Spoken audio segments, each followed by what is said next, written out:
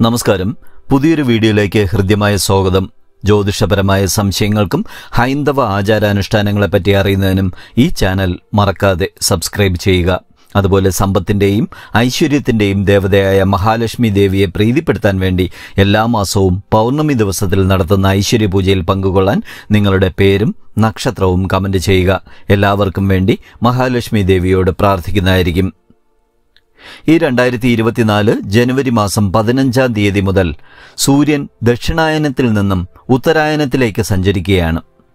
ഇതിനോടനുബന്ധിച്ച് സമ്പൂർണ രാജയോഗം വരുന്ന ചില നക്ഷത്രക്കാരുണ്ട്. അടുത്ത ഒരു ആറ് മാസക്കാലത്തേക്ക് സമ്പൂർണ രാജയോഗ ഫലമായി പത്ത് നക്ഷത്രക്കാർക്ക് വളരെയേറെ ഭാഗ്യവും ഐശ്വര്യവും വന്നു ചേരും. ആ നക്ഷത്രക്കാർ ആരൊക്കെയാണെന്നാണ് ഈ വീഡിയോയിൽ പറയുന്നത്. സമ്പൂർണ രാജയോഗം അനുഭവിക്കാൻ യോഗമുള്ളതിൽ ആദ്യമായി വരുന്നത് അശ്വതി നക്ഷത്രമാണ്. കഴിഞ്ഞ മൂന്ന് വർഷങ്ങളായി കഷ്ടപ്പാടും ദുരിതവും രോഗാവസ്ഥകളുമെല്ലാം ഇവർക്കുണ്ടായി കാണും. എന്നാൽ ഈ ജനുവരി മാസം പതിനഞ്ചാം തീയതി മുതൽ ഇവർക്ക് സമ്പൂർണ രാജയോഗം ആരംഭിക്കുകയാണ്. നിങ്ങൾക്ക് ഈ സമയത്ത് പുതിയ വീട് തൊഴിൽ തുടങ്ങിയ ഭാഗ്യങ്ങൾ ലഭ്യമാകും. ശിവക്ഷേത്രത്തിലോ മഹാവിഷ്ണു ക്ഷേത്രത്തിലോ ദർശനം നടത്തുന്നത് ഉത്തമമാണ്. സമ്പൂർണ രാജയോഗം അനുഭവിക്കാൻ യോഗമുള്ള അടുത്ത നക്ഷത്രം കാർത്തികയാണ്. ഇവർക്ക് സാമ്പത്തിക പ്രശ്നങ്ങളും രോഗങ്ങളും ഉണ്ടായിട്ടുണ്ടാകാം. ഇവർ രോഗത്തിനായി പണം ചെലവാക്കേണ്ടി വന്നിട്ടുണ്ടാകാം. എന്നാൽ ഇപ്പോൾ അതെല്ലാം മാറി വരികയാണ്. ഇനി മുതൽ കടങ്ങളെല്ലാം തീർക്കാനും വസ്തുവകകൾ വാങ്ങാനും ഇവർക്ക് യോഗമുണ്ടാവും. ഈ സമയത്ത് ഒരു പുതിയ വാഹനം സ്വന്തമാക്കുന്നതിനും ഇവർക്ക് യോഗമുണ്ട്. ഇവർക്ക് സമ്പൂർണ രാജയോഗം തുടങ്ങിക്കഴിഞ്ഞു. അതുപോലെ കാർത്തിക നക്ഷത്രക്കാർ ഈ സമയത്ത് ദേവീക്ഷേത്ര ദർശനം നടത്തുന്നത് ഉത്തമമാണ്. സമ്പൂർണ രാജയോഗം അനുഭവിക്കാൻ യോഗമുള്ള അടുത്ത നക്ഷത്രം മകയിരമാണ് ഇവർക്ക് ഈ മകരമാസം മുതൽ സന്തോഷങ്ങളും അനുമോദനങ്ങളും ലഭ്യമാകും. വിദ്യാഭ്യാസപരമായി ഏറെ ഉയർച്ചയുണ്ടാകും.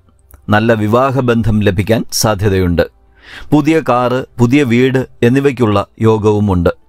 ഇവർക്കും സമ്പൂർണ രാജയോഗം തുടങ്ങിക്കഴിഞ്ഞു. അതുപോലെ മകയിര നക്ഷത്രക്കാർ ഈ സമയത്ത് ശിവക്ഷേത്ര ദർശനം നടത്തി ശിവപ്രീതി നേടുന്നത് ഉത്തമമാണ്. സമ്പൂർണ രാജയോഗം അനുഭവിക്കാൻ യോഗമുള്ള അടുത്ത നക്ഷത്രം പുണർദമാണ്. ഈ മകരമാസം മുതൽ സാമ്പത്തിക പരാധീനതകളെല്ലാം മാറി വരുന്ന ഒരു കാലമാണ്. മനസ്സിൽ കണ്ട ഭൂമി സ്വന്തമാക്കാനും വീട് വയ്ക്കാനും യോഗം കാണുന്നുണ്ട്. ദീർഘകാലമായി അനുഭവിച്ചു വന്ന രോഗദുരിതമെല്ലാം മാറിപ്പോകും. ഇവർക്ക് പുതിയ സൗഹൃദങ്ങൾ ലഭിക്കും.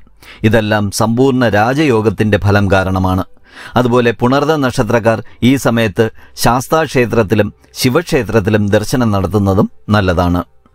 മകനക്ഷത്രത്തിനും ഈ മകരമാസം മുതൽ അടുത്ത ആറ് മാസത്തേക്ക് സമ്പൂർണ രാജയോഗമാണ് കാണുന്നത്. ഇവർക്ക് രാജാവിനെ പോലെ ജീവിക്കാൻ സാധിക്കും. സമൂഹത്തിലും ജോലിസ്ഥലത്തും ധാരാളം ഭൃത്യന്മാരുണ്ടാകും. ശത്രുക്കളിൽ നിന്നുള്ള കുത്തുവാക്കുകൾ നിഷ്പ്രഭമാകും. അകന്നു നിന്നവർ സൗഹൃദം സ്ഥാപിക്കും. പുതിയ ആഭരണം വസ്ത്രം വിശിഷ്ട ഭോജ്യം എന്നിവയെല്ലാം ലഭിക്കും. ഇവർക്ക് ഈ സമയത്ത് വിദേശയാത്രയ്ക്കും ഭാഗ്യമുണ്ട്. അതുപോലെ മകം നക്ഷത്രക്കാർ ഈ സമയത്ത് മഹാവിഷ്ണു ക്ഷേത്രത്തിൽ ദർശനം നടത്തി പ്രാർത്ഥിക്കുന്നത് കൂടുതൽ ഗുണം ചെയ്യും. സമ്പൂർണ രാജയോഗം അനുഭവിക്കാൻ യോഗമുള്ള അടുത്ത നക്ഷത്രമാണ് ഉത്രം. സമ്പൂർണ രാജയോഗം ഇവർക്ക് ഏറ്റവും ഗുണം നൽകുന്നത് ബിസിനസ് മേഖലയിലാണ്. ഈ മേഖലയിൽ നിന്നും ഇവർക്ക് ഇരട്ടി ലാഭം ലഭിക്കും. ഇവർ സമൂഹത്തിലെ ഉന്നത വ്യക്തികളുമായി ബന്ധം സ്ഥാപിക്കും. പുതിയ ആഡംബര ഗൃഹം പുതിയ വാഹനം എന്നിവയ്ക്ക് ഭാഗ്യമുണ്ട്.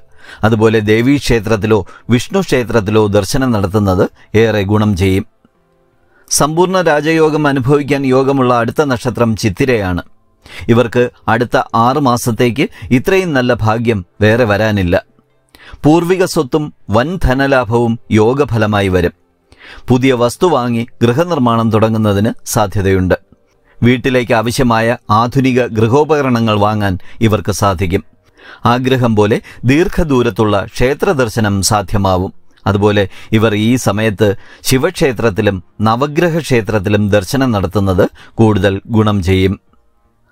സമ്പൂർണ രാജയോഗം അനുഭവിക്കാൻ യോഗമുള്ള അടുത്ത നക്ഷത്രം വിശാഖമാണ്.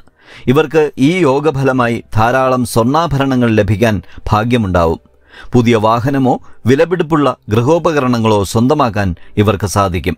ഈ സമയത്ത് ഭാഗ്യം കൂടുതൽ ലഭിക്കുന്ന നാളുകാരിൽ ഒന്നാണ് വിശാഖം. അതുപോലെ മഹാവിഷ്ണു സ്വയംഭൂവായ ക്ഷേത്രത്തിൽ ദർശനം നടത്തുന്നത് നല്ലതാണ്. സമ്പൂർണ രാജയോഗം അനുഭവിക്കാൻ യോഗമുള്ള അടുത്ത നക്ഷത്രം മൂലം നക്ഷത്രമാണ്. ഇവർക്ക് പുതിയ വീടിനുള്ള ഭാഗ്യം കാണുന്നുണ്ട്. ഇവർക്ക് അത്യാധുനിക സൗകര്യത്തോടെയുള്ള ഒരു വീട് തന്നെ ലഭിക്കും.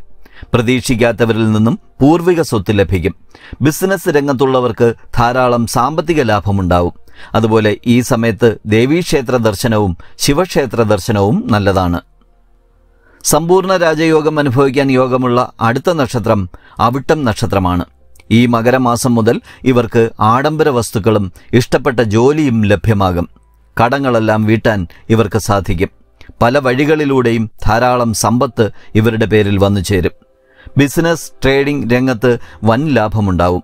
വിഷ്ണു ക്ഷേത്രത്തിലോ ശിവക്ഷേത്രത്തിലോ ദർശനം നടത്തുന്നതും നല്ലതാണ്. ഈ വീഡിയോ ഇവിടെ പൂർണമാവുന്നു. മറ്റൊരു വീഡിയോയുമായി വീണ്ടും കാണുന്നവരെ നന്ദി നമസ്കാരം.